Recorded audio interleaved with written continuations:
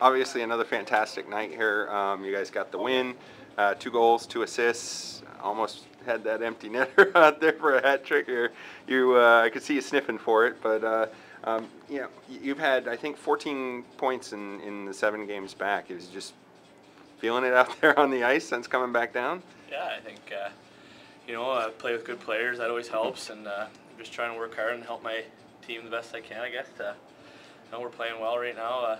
I mean, last night wasn't the best, but uh, Yeah. we've been tired. Our schedule's been tough lately, and I think we played pretty well. I'm just trying to help the team.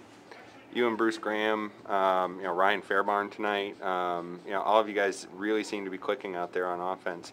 Um, you know, is it?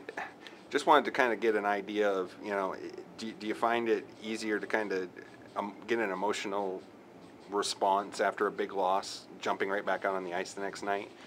Well, I think it shows a lot about our character. Uh, you know, we, we've done well after losses all year, uh, bouncing back, and uh, we just wanted to play hard tonight. Uh, we're, we're, we've been good at home all year. Uh, fans have been great; they help us there, and uh, we had a good start, like you said. And and uh, yeah, I, I mean, we, we got a great group of guys in that room, and uh, everyone's pulling on the same rope. Was there um, was there a key? was there a key to something other than the line mates? Um, um, with all of the points kind of coming in that third period, uh, was it just maybe a fatigue thing on their part, or do you think it was just kind of the breaks finally came? Yeah, they shouldn't have any excuses. I mean, they got here yesterday and practiced here, I think, and uh, they've had better rest than we have. We drove eight hours last night and, and ten hours the night, a couple nights before from Shreveport to Laredo. So uh, they can't use that excuse. Um, Yeah. I think we uh, came out hungry in the third for sure. Uh, I mean, one nothing wasn't good enough, as you as you saw. And uh, we put the pedal to the metal there. Scored first shift. Bruce had a nice goal from the side there, and uh, yeah, just kept going from there. Um, you know, it's uh, just kind of wanted to get your thoughts on um, having a guy like Whitley back back in net too. Um, obviously, from a defensive standpoint, it, it, may help you a little bit. Um, not, not not that McKee hasn't played well as well, but um, you guys are real familiar with Whitley. Is it is it that kind of the confidence and familiarity that really helps?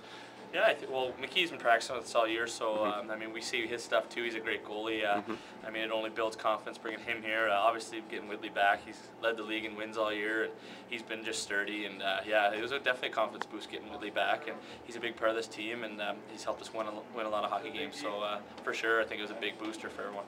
Um, and then having Shalast um, added to the roster here, um, didn't see if you guys you got a chance to, to play much with him here tonight. Obviously, you guys were on different lines for most of the night, but uh, um, you know, how, how is the team looking at having that kind of an addition to the team right now?